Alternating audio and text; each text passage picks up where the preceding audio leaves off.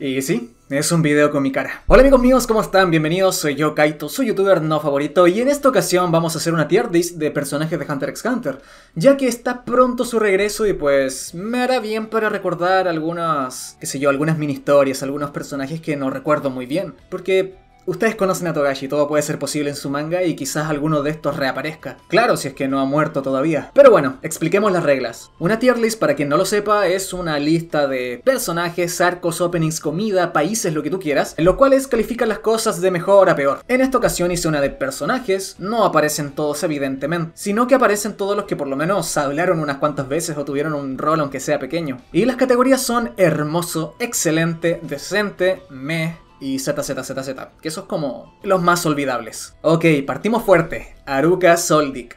Para mí es un personaje que Togashi metió medio, medio a la fuerza, ¿no? Claro, hay un panel en el manga hace mucho tiempo, creo que ni tanto, creo que fue cuando el, cuando el Ryodan fue a atacar la ciudad Meteoro, creo. En donde aparecía Aruka Soldik, pero en una foto familiar muy antigua. Pero no sé, siento que su poder está demasiado roto para las leyes naturales del Nen. Claro, está la teoría de que puede estar conectada con alguna calamidad del continente oscuro y que tiene sentido si tenemos en cuenta Six Soldik y todo eso, pero todavía no se confirma nada, así que... No sé, no sé, no sé. Yo la dejaré en decente. No me gusta mucho el personaje, faltan cosas por explicar y todavía no me convence. Esta mayordomo de los Soldics, pues... me. Vasho, amigo mío. Uno de los más olvidables de la saga de York Shin. No obstante, su, su habilidad era bastante curiosa, era como un poema predicción y actualmente está en el barco hacia el continente oscuro. Para mí va a volver a ser un personaje olvidable, a pesar de que está como guardia de la príncipe Tyson, creo. De igual modo tuvo muy pocos diálogos y muy poca participación en lo que vimos en Your. Para mí es un meh. El lustrabotas de Netero, Vince. Eh... No hay nada que opinar. Este era uno de los convictos en la Torre del Cazador, ¿cierto? Lo siento amigo, pero no hay nada que decir de ti. Uh, el príncipe Benjamín, el que tiene más poder militar dentro del barco. Yo le tengo fe a este personaje. A pesar de que no se nos contó una gran historia sobre él, eh, yo siento que va a ser uno de los top 3 finalistas de la Guerra de la Sucesión. Aparte su habilidad Nen refleja mucho lo que es él.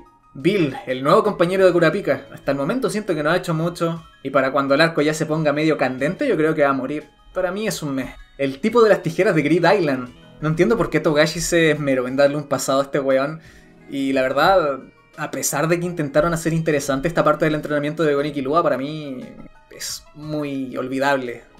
La vieja Biscuit. Para mí, gente, para mí este personaje envejeció muy bien. Fue una gran maestra de Gon y Killua, Nadie se esperaba que tuviera 50 años. Y siempre está ahí como buena cazadora que es, cuidando a Aruka cuando estaba sanando a Gon. Y ahora está en el barco hacia el continente oscuro. Haciendo un muy buen rol ahora que lo pienso. De hecho, creo que hasta enamoró a un guardia. Para mí es un excelente personaje. Bono Lenov, para mí, me. No tengo mucho que decir. No me gusta el personaje. No tiene ni diálogos, ni carisma, ni nada. Y, y personalmente creo que es de los peores en el Ryodan.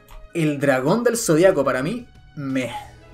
Estos dos personajes personalmente yo los detestaba mucho. Aunque si lo piensas mucho y lo rebuscas, puedes sacarle un significado medio importante a la prueba que tuvo del sushi y a la otra prueba de, la, cocina en general. Pero para mí me la bajó mucho cómo no pudo controlar la situación y tuvo que llegar Netero a salvarle el culo. Así que para mí, ZZZ. La princesa Camila tiene potencial, tiene potencial, su habilidad está bastante rota. El personaje de Canary me gusta mucho. Fue uno de los primeros en los cuales nos demostró la tenacidad que tiene Gon para alcanzar sus objetivos. Asimismo demostró humanidad dentro de todo lo que tenía que ver con la familia Soldic. Para mí es tan excelente. La perra. Un personaje decente. Leí por ahí también alguna teoría de que ella es la madre de Gon, lo cual no tiene ningún sentido, pero... No sé. Chetu. Esta hormiga quimera, a pesar de que tenga mucho carisma, fue muy imbécil, weón. ¿Cómo se le ocurre hacer una habilidad que es más lenta que él? Y murió de la forma más patética de todas. Para mí es me. Kuroro Lucifer, amigo, qué hermoso. O sea, es uno de los mejores antagonistas. Bueno, igual ahora que lo pienso no hay tanto antagonista. Su visión como líder del Rodan me encanta la lealtad que le tiene a sus miembros, el cómo jugó con la mente de Kurapika en todo Yorkshin, la forma en que se paseó a Hisoka en el Coliseo del Cielo. Por todo eso y mucho más lo dejo en el mejor puesto. Esta era la serpiente del zodiaco, ¿cierto? Para mí, Z. Uh, Colt. Personalmente fue una de mis hormigas quimeras favoritas, Colt, amigo, se te quiere mucho. Me encantó el rol que le dio Togashi a este personaje, porque evidentemente no fue casualidad que el niñito que apareció al inicio justo fue este personaje que demostró más humanidad alrededor de todo el arco de las quimeras. Cómo cuidó a Kaito cuando renació, y acordémonos que gracias a él Netero supo el nombre de Meruem, el Dun. Para mí, ZZZZ. Feitan, uno de los Ryodan con más estilo. Para mí lo dejo en excelente. Franklin, este, igual que bueno, no, lo encuentro muy, muy que sobra. Y siento que va a morir pronto en el barco al continente oscuro. Fugetsu, Fugetsu, fuá. Es un personaje decente. Su historia con su hermana me, encanta. Es de las pocas veces que Togashi nos muestra una relación como de familia, como de amor no romántico. Eh, y todo lo que hizo Melody por ellas. Eh, es una, una buena mini historia dentro de lo que está contándonos en el manga. Esta era la serpiente del zodiaco, la otra no sé cuál era, pero igual, lo mismo. Genturu, amigo, el bombardero, el cacas. no, literal, este personaje lo detesté, pasó sin pena ni gloria, no tenía ningún trasfondo, no tenía sentido, ni pies ni cabeza. Si hubiesen puesto un verdad, un buen villano en Grid Island, habría resaltado un poco más ese arco, pero creo que uno de los mayores problemas fue el bombardero. Y para mí, ZZZZ. Gin Freaks el papá del año, amigo, el que dejó todas las pistas para Gon, pero no quería ni verlo. Por todo lo que logró, yo pienso que es un excelente personaje. Aparte, ahora va al continente oscuro y yo creo, pongo todas mis fichas a que él junto a Bellón Netero van a ser los protas de ese arco. No lo dejo en hermoso porque la forma en que se encontró con Gon fue muy decepcionante para mí, pero. Pero nada, eh, le, tengo fe, le tengo mucha fe a King. Y este otro zodiaco de relleno, Gon Freaks. ¡Fuah! A ver, este personaje es más complejo de lo que parece. El sacrificio que hizo de todo su nen, literalmente de toda su vida, en el arco de la esquimera para vengar a Kaito me, encantó. Tiene un potencial casi infinito junto a Killua. Y lo importante que ha sido la vida de los demás protagonistas y lo que ha logrado hacer solamente con su sonrisa y amabilidad, pues tiene mucho mérito. Para mí es un excelente protagonista. Este tipo me. Que descanses en paz, Goto. Para mí fuiste un personaje decente. Hanzo, el ninja Hanzo, eh, le tengo fe en el continente oscuro. Le tengo mucha fe. Asimismo, su batalla con Gon también demostró que el pendejo estaba loquísimo desde el inicio. O sea, sacrificar su brazo y todo y aguantar como un campeón contra él, a pesar de que lo estaba torturando, pues me, me fascinó. Y del mismo modo admiro su caballerosidad al pelear contra el niño, rindiéndose porque no podía soportar seguir torturándolo. Para mí es tan excelente. Y Sokka es uno de esos personajes que se dibujan solo es el quinto protagonista. Este weón, ves que aparece y ya no sabes lo que va a pasar. Es tan impredecible y eso me gusta de él. Eh, lo que verdaderamente da miedo es que no sabéis si es que va a ayudar a los protagonistas o va a ser una amenaza. La sensación de incertidumbre que me da cada vez que aparece eh, le da un plus a la serie y su, persona y su personalidad tan excéntrica hace que sea muy memorable. Así que para mí lo dejo en un personaje hermoso. Supongo que esto es el grupo de protagonistas en general, ¿no? Eh, yo los considero excelentes, a pesar de que Leorio no, no ha tenido su momento de gloria. Los dejarían hermosos si es que el grupo fuera un anime, ¿no? Si es que fuera igual de importante cada uno y que pudieran carrear un arco solo cada uno, pero no veo a Leorio haciendo eso. De igual modo tampoco veo a Gon específicamente solo solo carreando un arco. Pero lastimosamente como no ha tenido el mismo protagonismo todos en toda la historia, pues los dejo ahí. El pulpito este me pareció decente, también fue otra muestra de que las hormigas quimera eh, estaban siendo humanizadas. El factor genético de, de los humanos le jugó en contra a la reina quimera y todo su plan. Y Lumi personalmente me gusta mucho como personaje. Todo el daño que le hizo su hermano con tal de controlarlo, pues me pareció admirable, pero en el mal sentido. y al igual que con Isoka, cada vez que aparece sabes que va a quedar la cagada. Este era el asesino serial. Lo dejo en Me y no en ZZZ porque gracias a Kilua nos dejó una de las escenas más traumantes de Hunter x Hunter. Y estoy hablando de la versión antigua. La princesa Cacho es un personaje hermoso. El sacrificio que hizo por su hermana me encantó la forma en que su bestia Nen se materializó en ella para que no se preocupara su hermana, el cómo intentó escapar de la guerra de la sucesión dándonos a entender que estaban todos condenados, me pareció valiente y estúpido a la vez. Kayuto Soldik. Lo dejo en decente, lo dejo en decente. Todavía no entiendo bien por qué está en el Ryodan. y este tipo lo dejo en me. De hecho, creo que la mayoría de, de Zodíaco los puedo dejar en me porque son como dos o tres que importan. Castro es un personaje decente. Yo le tenía fe, lamentablemente jugó con el Nen de mala manera. Y me gustó como Isoka perdió el interés así de rápido cuando lo vio acorralado. Kikyo Soldik para mí es decente, no, no, hay mucho que decir sobre ella. Protectora, sádica y que es de la ciudad Meteoro. Kilua Soldik es un personaje excelente. De hecho no, es hermoso el personaje.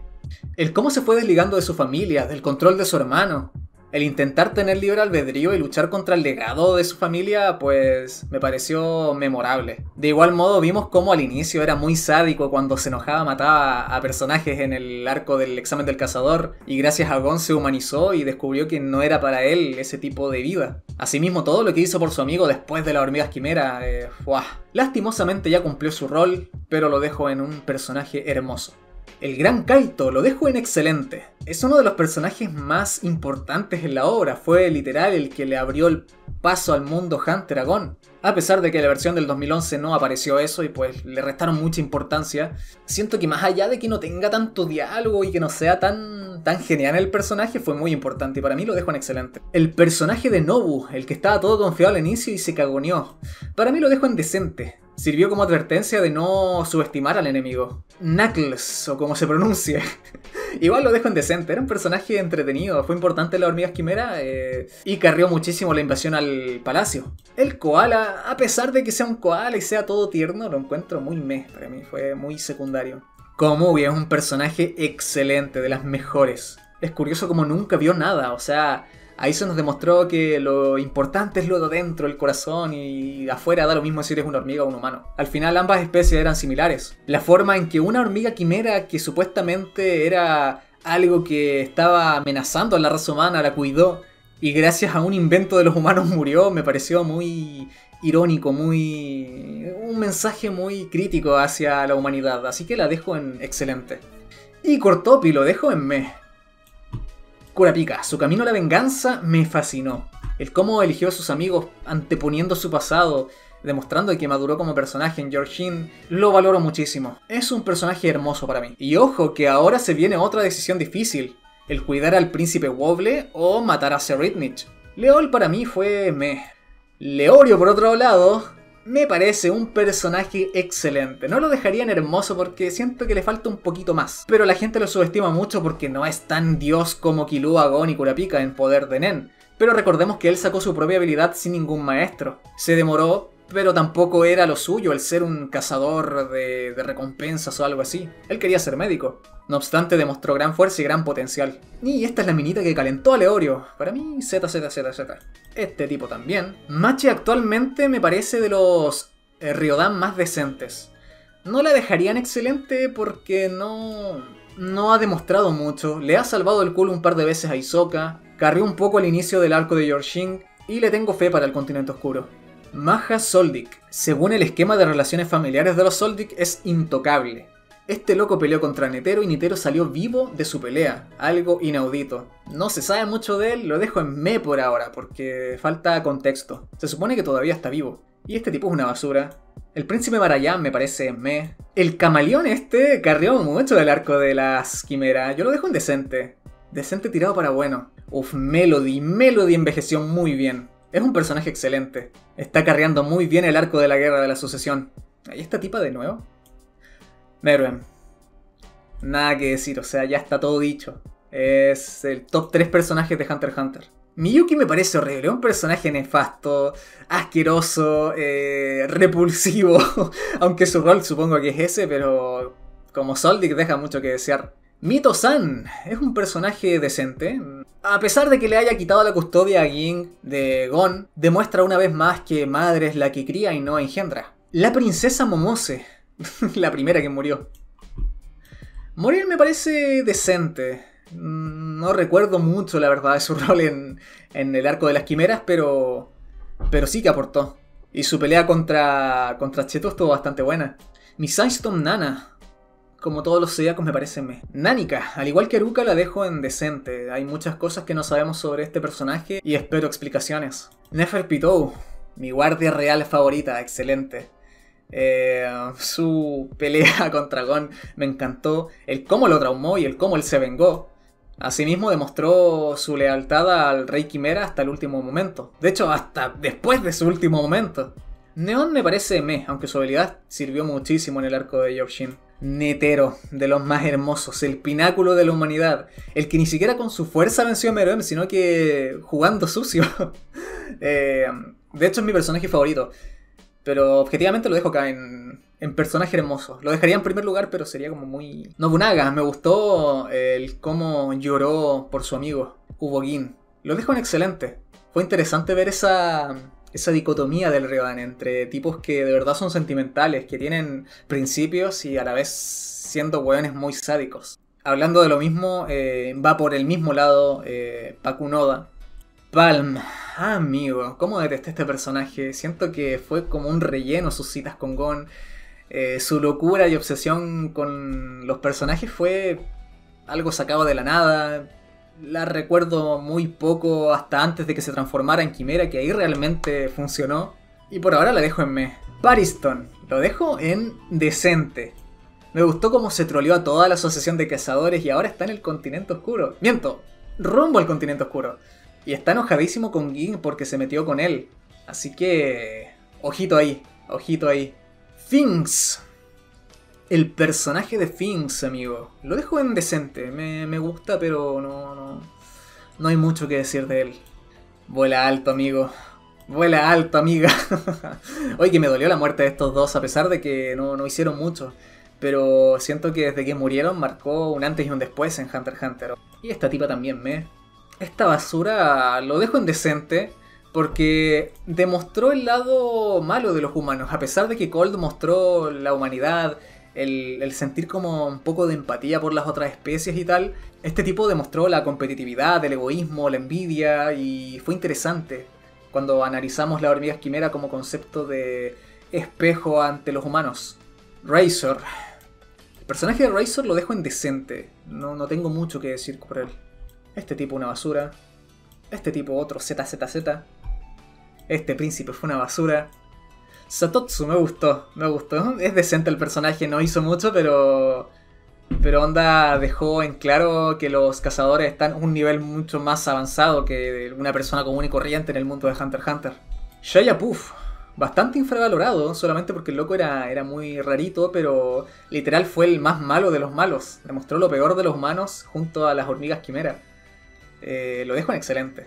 Charnarks, eh, y este tipo lo dejo igual acá, en me. Shizuku en decente. A Shot lo dejo en, en decente igual. Silva Soldik, el actual jefe de la familia. El que peleó contra Kuroro dos veces. Yo lo dejo en excelente, ¿eh? El cómo le dio permiso a Killua entendiendo su posición de su siguiente heredero. Y aún así que lo dejara hacer su vida. Y el cómo impone respeto cada vez que aparece. Y Tompa. Tompa lo dejo en, en hermoso. Es el mejor personaje de Hunter x Hunter. Sir Rhythmich, le tengo fe, le tengo fe. Siento que Kurapika no va a salir muy ileso de su próxima pelea con él. Eh, por ahora lo dejo en excelente por el potencial que tiene y por lo sádico que es. Este tipo, un vende humo. Esta mina también, me. La princesa Tyson también. Hubo Gin fue un personaje excelente. Su pelea contra Kurapika y el cómo se dio cuenta de que no era tan fácil ni tan satisfactoria su, venganza, eh, me gustó. Tuvo un rol muy importante. Este se llamaba Welfin, ¿cierto? Me pareció decente, de las mejores eh, hormigas quimera.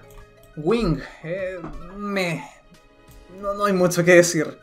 Este es el príncipe Wobble, el que cuida Kurapika. Por ahora Z. No, ni siquiera tiene bestia nen. Yuppie, eh, es mi bestia nen menos favorita. Miento, mi guardia real menos favorita. Y lo dejo en decente, la verdad. Sasan, me. Xenosoldic, Viejo cagón, lo dejo en decente. lo dejo en decente, pero se cagonía entero cuando vio a Meruem. Ojito ahí. Sangley. No le tengo fe. Six Soldic, le tengo fe, pero eh, siento que, como que lo borraron del mapa, ¿no? O sea, su padre, Maja Soldic, está vivo, él no se sabe qué onda. Yo pienso que se lo están guardando para el continente oscuro. Yo lo dejo en decente. Sushi es quien nos representa a todos nosotros. Es el típico weón Rock Lee, ¿no? El que no tiene talento pero se esfuerza a cagar para igualar a los que tienen talento. Me gusta lo disciplinado que es y lo importante que fue en el Coliseo del Cielo. Lo dejo en, en excelente, uno de los más abajitos de excelente. Y bueno, gente, más o menos así dejaría mi tier list por ahora. Me demoraría ahora si es que los ordeno en cada categoría, pero básicamente así los dejo. Espero que te haya gustado este video. Esta semana hay videos todas las noches, así que ojito, se vienen cositas muy interesantes. Recuerda suscribirte, darle like a mi video, comentar si es que te pareció bien mi tier list o te pareció horrorosa y seguirme en Instagram, que ahí estoy subiendo todas las novedades de este manga. Si te ha gustado este video, te invito a seguirme en mis redes sociales, de verdad lo valoraría muchísimo. De paso, quiero mandar un saludo a todas las personas que están apareciendo en pantalla que se hicieron miembros del canal. Muchas, pero muchas gracias por su apoyo. No olvides dejar tu like, comentario y compartir este video. Hasta la próxima. Se despide Kaito, tu youtuber no favorito.